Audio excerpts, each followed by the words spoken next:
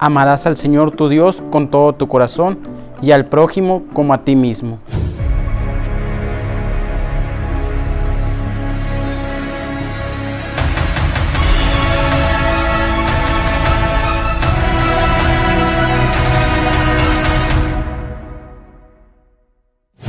Hola, ¿qué tal? Soy el seminarista Arturo Guzmán. Actualmente curso el tercer año de teología en el Seminario Arquidiocesano de Monterrey. Hoy que celebramos el trigésimo primer domingo del tiempo ordinario, el Evangelio nos presenta a un joven que se acerca a Jesús con una inquietud, saber cuál es el primero de los mandamientos. La respuesta de Jesús no se deja esperar. Pareciera una respuesta sencilla, sin embargo, no lo es.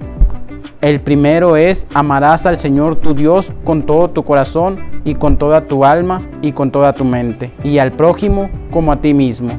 Estas palabras de Jesús deben resonar en nuestro interior, deben resonar en nuestra mente y en nuestro corazón, porque quien sabe amar verdaderamente a Dios, sabe amar al prójimo, porque participa de este amor misericordioso que Dios le tiene. Sepamos escuchar en estas palabras de Jesús una llamada al corazón una llamada de atención para nosotros, para que pongamos más atención en qué tanto estamos amando a Dios primero que nada y por consecuente cómo lo manifestamos en el amor a los demás. No necesariamente el prójimo en relación al que está a mi lado, sino a cada uno de los seres humanos que delante de Dios gozamos de igual dignidad. Dios nos invita el día de hoy a estar atentos a la escucha de su palabra, a meditarla, a conocerla, a acercarnos a Él a través del el cumplimiento de su voluntad, que es que todos seamos salvados y lleguemos al conocimiento de la verdad.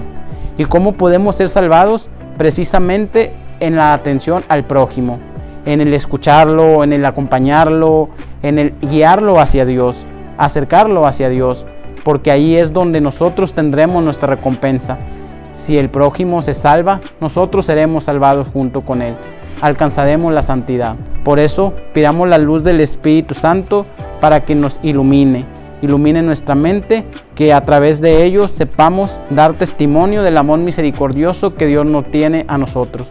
Recordando que la fe sin obras está muerta. ¿sí? Las obras manifiestan la fe. Amar a Dios se manifiesta en el amor al prójimo. Amar a Dios se manifiesta en la entrega de la propia vida hacia los demás, en una apertura hacia los demás. Los invitamos a seguir viendo y compartiendo nuestro contenido en cada una de nuestras redes sociales.